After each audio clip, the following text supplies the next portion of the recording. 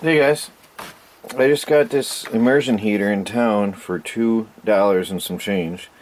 These are usually like twenty dollars, and it's a 200 watt heater.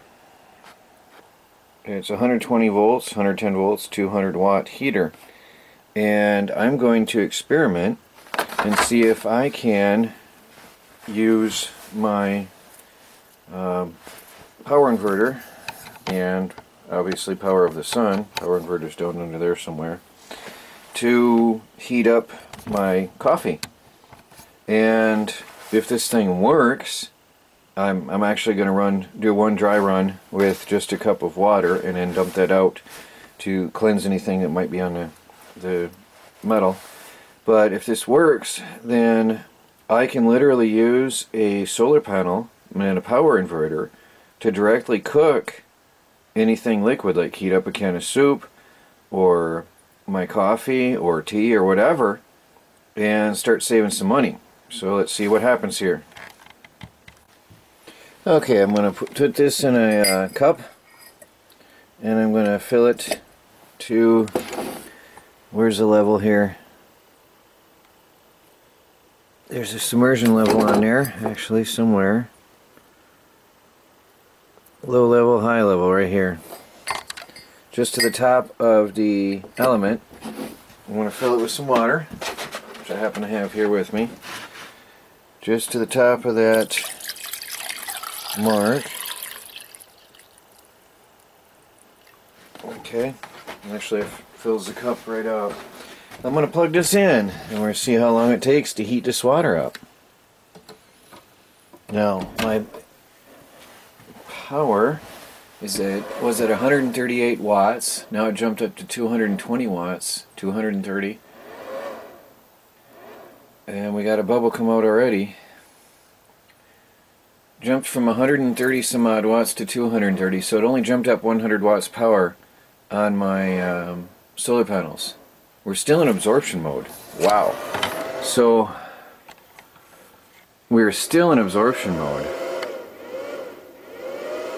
and only pulling 100 watts of power right now at this time. Interesting. The uh, power inverter cooling fan is kicking on though.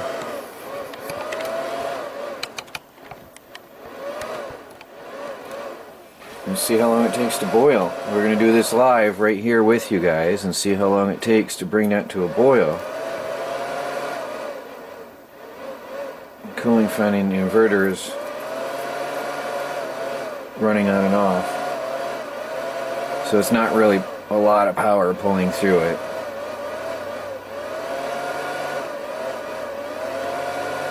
I can see bubbles forming and you can see water, the water is getting warmer.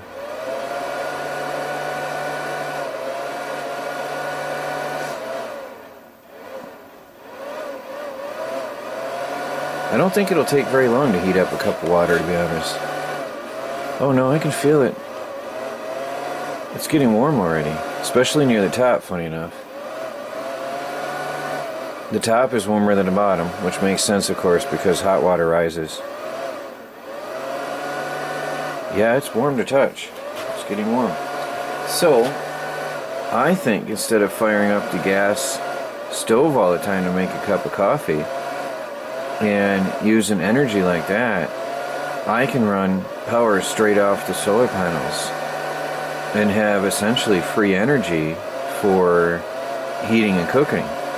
And also we do have that induction induction stove, that induction cooker that we can start using in the house once I get the solar panels going over there and occasionally we could cook out here. Uh, nice warmer weather times and periods we can just cook right off the induction cooker. So I might bring that out here have sort of like an outdoor kitchen area out here with that. Outdoor when we're cooking, put it inside when we're done. Well, it is heating, and we're only still only using 100 watts.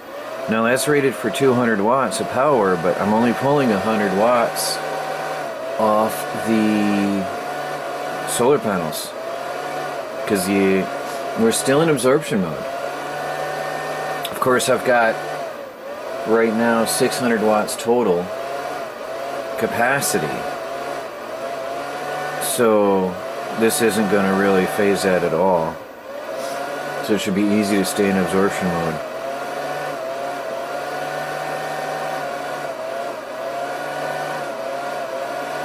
That's getting warmer. It's starting to get there. It's getting hot to the touch up to, up top. Of course, I am outdoors too in a very cold room, so that's going to affect performance greatly. It's only 40 degrees outside, so it's probably 30 something in the workshop at this time. So that's definitely going to affect the performance of this. so when it's uh, warmer weather, or if you're indoors, I'm sure the heating time will be about half of what we got going on right now. I see steam coming up. I see a little bit of steam coming up. So what I want to do is bring this to a boil and see how long it takes to boil the water live while I'm talking to you. I hope I don't bore you here. But this is a really cool experiment to see if I can heat and cook directly off solar power. And if this works, I'll probably get another one of these just to have on hand for that price. I mean, $2, that's nothing for this. And then, I could actually, if I want to cook real fast, I could put two of these, or even three, into a larger pot to heat up water faster. And I might actually try that out. Because like I said, I have 600 watts of solar panels hooked up right now. So I have a lot of playroom with uh, available energy coming into my off-grid shop. So imagine just anything that you want to heat up that you could heat on the stove, you could do with this. Anything that's more that's liquid enough.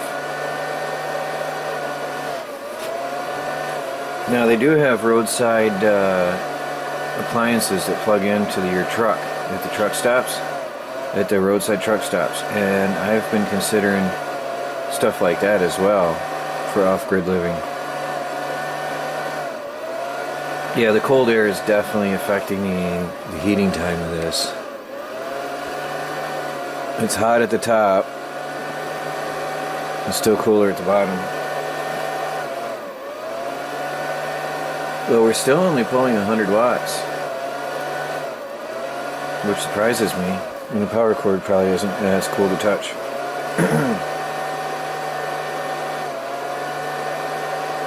well, we have steam. We do have steam coming up. A lot more bubbles.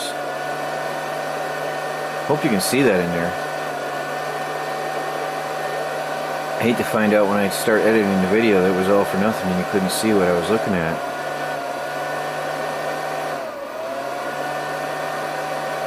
It's getting hotter. I want to see a real good rolling boil.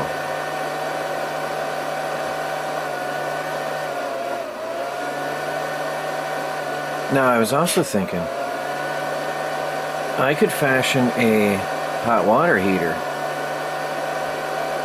like this. Obviously, 200 watts um, would take a long time, but imagine you're only going to shower once a day per person.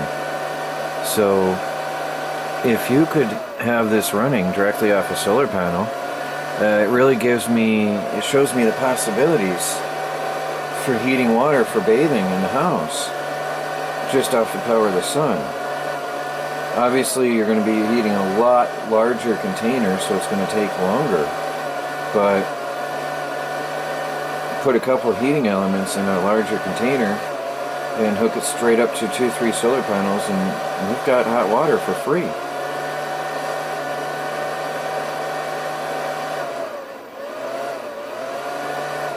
There we got a boil starting.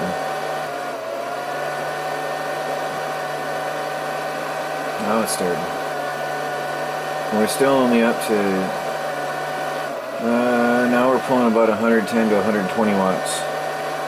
of power. It appears that maybe it runs and uses more energy as it gets hotter. Because I'm pulling 250 watts off the TriStar and 14 watts off the um, Renogy. Yes, Melanie? I can't hear you whisper from across the yard. Oh, okay. I'll be there in a few minutes. We're just seeing how long it takes to heat up this water. See it steaming already? How are you gonna Hmm? Yeah. Well, I, I want to bring it to a boil. It's starting to. I was hoping to show people live how long it takes. But it takes a few minutes. It takes quite a few minutes. But then again, it's cold out here. It's very cold. So the, um, well, that's hot. Feel it. It's really hot to touch. Yeah. Um, the, the air is very cold in here. It's colder than outdoors. So that affects the time to heat this up. There's air, there's cold air blowing in, and it's probably was about 30 degrees in here when I opened it up. So in the house where it's warmer, I'm thinking it would work a lot faster. But I'm looking here, I'm only pulling 120 watts of power uh, above what it was pulling before, and the batteries are still topped off. So very exciting. Here it's boiling. It's starting to boil. For a cup of coffee, that would be hot enough for me. Hmm, perfect. What's that? Oh, you like the show? Yeah. Oh, Melanie hasn't seen this place, have you? Since I got all the way back to there. You like it? Yeah. I'm very satisfied with how it looks. I hope to finish this entire wall today. And then build my um, my workbench. Well guys, I am going to pause the camera at this moment. We do have it starting to come to a full boil. Starting to, but I don't want to bore you to death. You can see the time for yourself here, how long it took to get boiling this cup of water in a very cold environment. Very, very cold. I am going to let it get to a rolling boil, but indoors it would have already been doing so in a warmer situation. So it works. Free, absolutely free energy for heating my coffee, which I'm going to do next. Alright guys, I've waited another 3-4 minutes and it looks like what you see is what you get. Um, I don't think in this extreme cold air I'm probably not going to hit a rolling boil. But I just went into float mode on the battery bank. Well, this was boiling. It's still pulling power and it went into float mode. So the batteries aren't even seeing this thing very much at all. It's quite amazing. So I'm gonna um, empty that out, pull the plug. Uh, obviously, for safety, you want to pull the plug first before you take the element out of the water. Otherwise, you'll fry your element. Okay? And then I'm going to empty this water and put clean water in and make myself a cup of coffee. Alright, I've got my cup of water going for my coffee, and we are still in float mode. We've jumped up to 100 watts coming in, but we're still in float mode, so this is nothing for these solar panels and this battery bank to run this little water heater. So that's uh, definitely a good sign. Alright guys, I've got my coffee brewer here. I'm going to pour away from the wood, so forgive me for a minute. Okay, there's my coffee brewer. I'm going to let that brew for a few minutes. And then uh, I will have a fine cup of coffee. So that's a really unique brewer I got as a gift from somebody a while back. Well, a year, two years ago. Well, two years I think now. It was before I was married. I was single. And uh, it's really cool because it's almost like a French press in the way it makes coffee. You put the coffee grounds in a filter and it sits there and, and contains it. And when it's brewed, you sit that on top of your coffee cup and it opens the valve and allows the brewed coffee to go in to your cup. So it's an off grid brewer. Here I have a fully off the grid brewing system for coffee. So we'll be back in a few minutes. Alright. Put this in my cup and the coffee flows in. And then I add a little bit of water as well as I go. Oh, spilling on my wood. Oh, it's a workshop. That's why I got cheap wood. I always had a little bit more hot water because that doesn't hold a full cup of coffee for me, my size cup of coffee.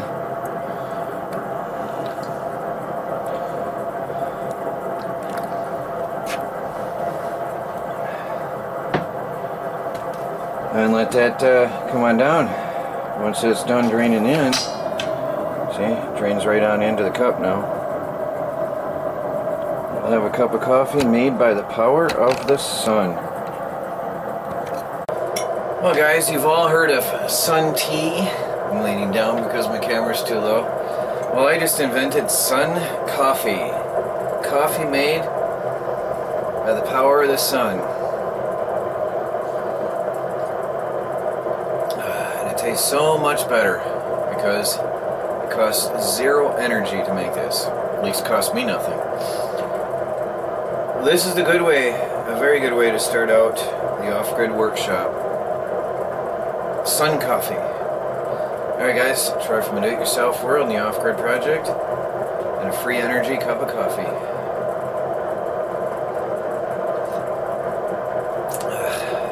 This is the life.